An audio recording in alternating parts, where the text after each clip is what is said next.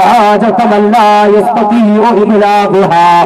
ثبت الله تعالى قدميه على الصراط يوم القيامة. അമ്പുറന്തങ്ങൾ charitable ട്രസ്റ്റിന്റെ വേദിയിൽ നിന്ന് പറഞ്ഞു പറഞ്ഞുകൊള്ളട്ടെ പൊതുരംഗത്തെ കണ്ട യുവാക്കളെ കടന്നു വരിക.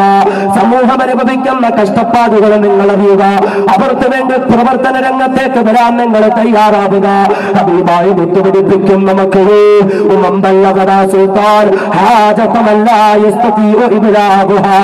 അവകാശം നിഷേധിക്കപ്പെട്ട മനുഷ്യരില്ലയോ? വീടുകളില്ലാത്ത മനുഷ്യർ ഭക്ഷണമില്ലാത്ത മനുഷ്യർ കുടിവെള്ളം നിഷേധിക്കപ്പെട്ട മനുഷ്യര് ആരോഗ്യപരമായ ബുദ്ധിമുട്ടുകൾ കൊണ്ട് കഷ്ടപ്പെടുന്ന മനുഷ്യര് ആ മനുഷ്യർക്ക് വേണ്ടി ആരെങ്കിലും പ്രവർത്തന രംഗത്തേക്ക് വന്നാൽ അവർക്ക് വേണ്ടി സഹായങ്ങൾ ചെയ്യുന്നതിന് വേണ്ടി ആരെങ്കിലും അധികാരികളുടെ അരമനയിലേക്ക് പോയാൽ അള്ളാഹുവിന്റെ ഹബീബ് പഠിപ്പിക്കുകയാ റബ്ബുൽ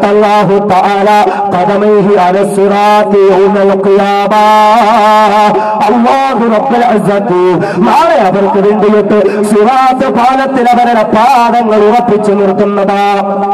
പൊതുജനത്തെ സേവിക്കുന്നവർക്ക് അള്ളാഹു കൊടുക്കുന്ന സമ്മാനമാണതെങ്കിൽ സമുദായത്തിന്റെ വിശപ്പ് നമ്മൾ അറിയണം സമുദായം അനുഭവിക്കുന്ന ബുദ്ധിമുട്ട് നമ്മൾ അറിയണം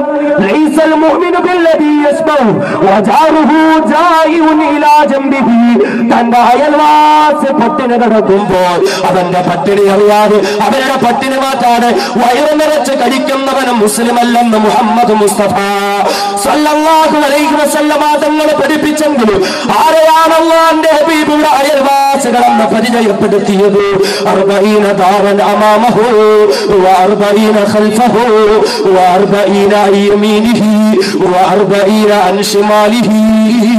നിന്റെ വീടിന്റെ മുൻഭാഗത്തേക്കുള്ള നാൽപ്പത് വീട് പിൻഭാഗത്തേക്കുള്ള നാൽപ്പത് വീട് വലതു ഭാഗത്തേക്കുള്ള നാൽപ്പത് വീട് എതിർ ഭാഗത്തേക്കുള്ള നാൽപ്പത് വീട്.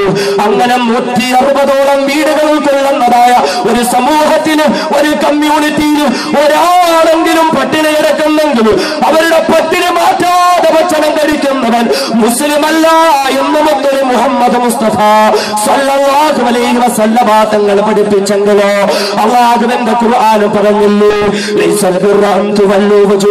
ഖിബലൽ വൽ കിഴക്കോട്ടും പടിഞ്ഞാറോട്ടും മുഖം തിരിച്ചത് കൊണ്ട് മാത്രം നിങ്ങൾക്ക് പുണ്യമില്ല.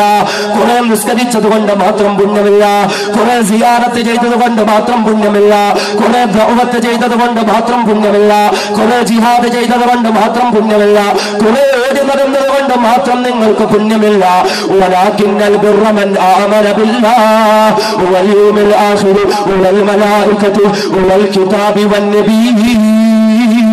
അള്ളാഹുവിനെ വിശ്വസിക്കേണ്ട പോലെ വിശ്വസിക്കുക. അള്ളാഹുവിന്റെ കിതാബുകളിലെ മലക്കുകളിലെ അന്ത്യദിനത്തിലെ പ്രവാചകന്മാരിൽ സർവസ്വത്തിലും വിശ്വസിച്ചുകൊണ്ട് എന്ന് മാത്രമല്ല കർമ്മരംഗങ്ങളിൽ നിങ്ങൾ ചെയ്യേണ്ടുന്നതെന്താ അള്ള നിങ്ങൾക്ക് തന്ന സമ്പത്തുള്ളതോ? പടച്ചവൻ നിങ്ങൾക്ക് തന്ന സമ്പത്ത് നിങ്ങൾ ഇഷ്ടപ്പെടുന്ന നിങ്ങളുടെ സമ്പത്ത് മക്കൾക്ക് വേണ്ടി ഭാര്യയ്ക്ക് വേണ്ടി ബിസിനസിന് വേണ്ടി കച്ചവടത്തിന് വേണ്ടി നിങ്ങൾ മാറ്റി വച്ചിരിക്കുന്ന നിങ്ങളുടെ പണത്തിൽ നിന്ന് പാവങ്ങൾക്ക് വേണ്ടി നിങ്ങൾ കൊടുക്കുക